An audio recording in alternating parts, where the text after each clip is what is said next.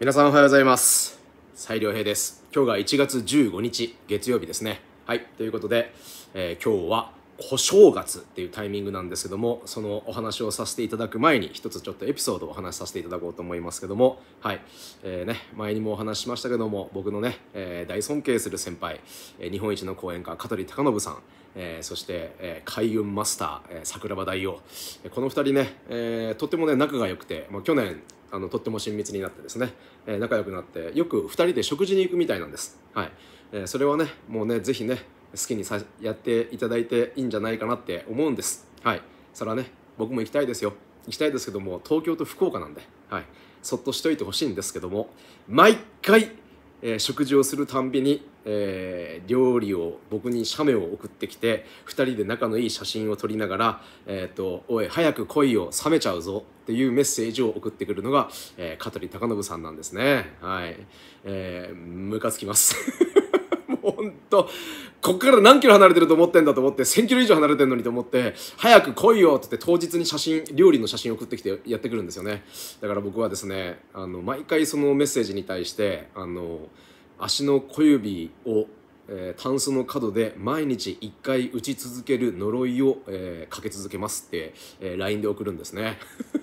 ダメなんですよ。ダメなんだけど冗談でですね送るんですけどもその LINE を打った後にですね僕ですねすぐにえっと、タンスではないんですけどちょうどあの扉の角で足の小指を強打しましてうめっちゃ痛ったと思ってこらーと思った瞬間その痛みと同時にパッとあそうだったなってあの一昨日ね上げた動画で誰かの幸せをえ祈るっていうことは自分に対して絶対返ってくるんですよ。逆を言えば誰かを妬んで恨んでそねんでね、えーそして呪ってもそうです。それってやっぱり自分に返ってきて昔の人たちって人を呪えば穴二つって言ったのと同時でうわ冗談で送ったつもりだったんですけど本当にね角まあ本当に、まあ、ちょちょっとは打ってほしいとは思ったけど。あのあやっぱちゃんと人に対して飛ばす気持ちっていうのは自分に対して返ってくるんだなっていうあのジンジンする小指をね眺めながらあだからね僕自身の人生が本当に豊かになってきたのは人の幸せを祈る時間っていうもの自体がね、えー長くなってきてからなんだなっていうのを、え改めて感じましたけどね、えーそれでもあえて、ちょっとだけ思いますやっぱり、えー角で小指を打ったらいい はい。そんな感じで今日は1月15日月曜日ということで、小正月っていうタイミングですね。はい。そういう感じで、もうね、あのーまあ、関西き、あのーとか、あの関東の方でちょっと差が若干ずれたりするのがあって、え締め飾りを今日も完全に直しますよと。ね。1月7日で直す地域もあれば、えー今日ここで直しますよってところもありますし、1年間かけてずっと出すところもあったりします。なんですけども、一応、いつ直そうかなーって悩んでる方たちは今日直しますよ。はい。今日直すんですけども、まあ、小正月っていうものはね、もうここで、月のちょうど真ん中ってことで、ここで、まあ、お正月気分も完全に終わりですよと。その上でねあの一回ここで気分をリセットしましょうっていうタイミングだったりするんですけども、えーその上で今日何をするかっていうとまあ鏡開きする人もいるみたいです。はい、えー鏡開きをして11日の日にやる人もいれば鏡開きってことで、まあ、お餅食べる人もいるかもしれませんしあとはあのどんど焼き。どんど焼き。あの締め飾りを燃やすあの神社に持ってって燃やしてもらったりとかっていう風にしてやってもいいし、まあ、このタイミングでもし今日は平日なんでですね、えできなかった人は、え後々ね、え下げた後に、えあの処分するようにしていいと思います。もう処分の仕方に対してはあのこうしないといけないとかああしないといけないとかっていうものよりかは神社に持ってっていいところもあります。なんですけども持ってこられると困りますってかさばるので困りますって書いてある場所あるので前もって一回神社さんに問い合わせをした上で確認して持っていくようにするしできなかった場合は自分で処分していいと思います。はい、そんな感じで今日は小正月まあ、えーまあ俗世間一般的には小豆がゆを食べますね。小豆が小豆がゆを食べたりするとは思うんですけども、まあ、前々から言ってる通りあの小豆ねっていうのはもともと豆から来てる魔を滅するっていう意味合いから厄除けの意味合いもあるし、えーその上で今年からの1年間の健康のことを思った上で、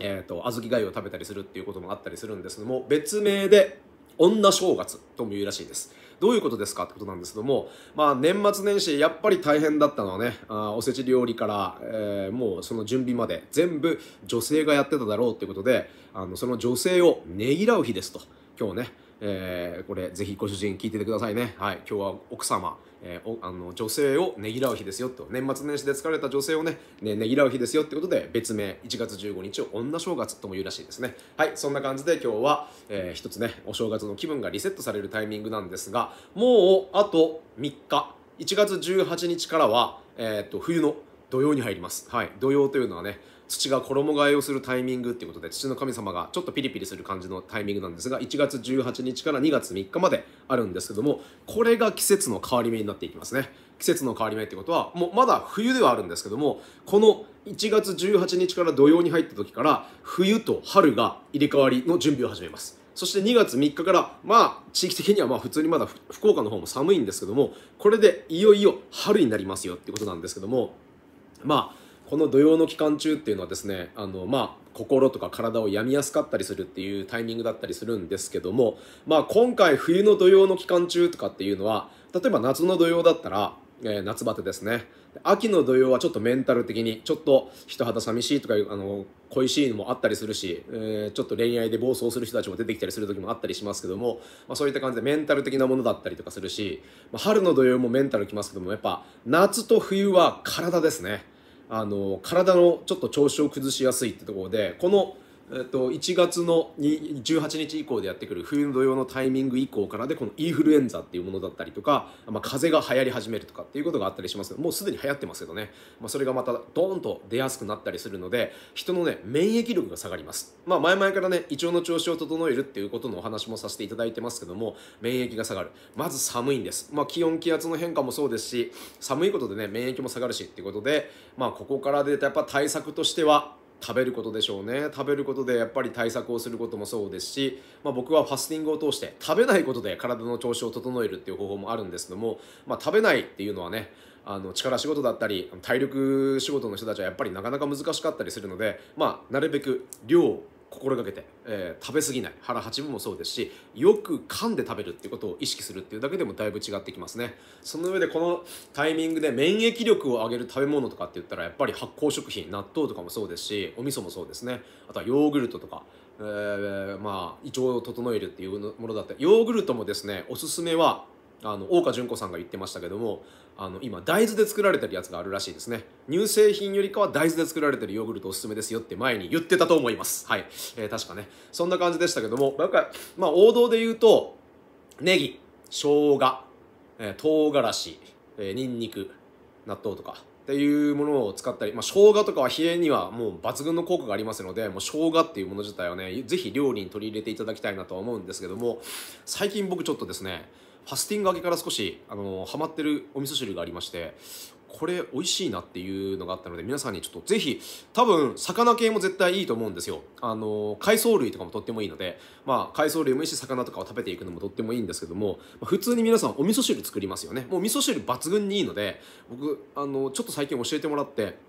あの缶詰にあるサバ味噌の缶詰とかイワシの味噌、まあ、味噌ですね。味噌で煮詰めてる缶詰があると思うんですよ。それを箸でグリグリグリグリってちょっとちょっと細かく潰してできた味噌汁の中に入れるんですよ。それだけです。それだけでめちゃくちゃコクが出るし美味しいんですよね。でうちの子供たち、まあ、一番下とかはまだちっちゃいのでもう味噌汁ご飯にその味噌汁をかけて食べてあげるともうバクバク食べるんですよ。だからおこれやっぱあのもうまみが半端じゃないっていう感じでここでちょっとアレンジしようと思ったらそこにちょっとすりおろしたニンニク入れたりしてもいいですし、まあ、ネギ青唐辛子もいいと思います。ちょっと韓国風になりますけどね。その上で多分ここにな想像できないかもしれませんが納豆を入れても美味しいです。これ絶対に美味しくなると思うんですけども、まあ、ニンニク納豆とかサバの缶詰、えー、味噌煮が、まあ、今のところ味噌煮でやってことしかないんですけども味噌煮とかイワシの味噌煮とかを一緒にちょっと味噌汁の中に混ぜて入れると本当にねコクのある美味しい味噌汁ができますので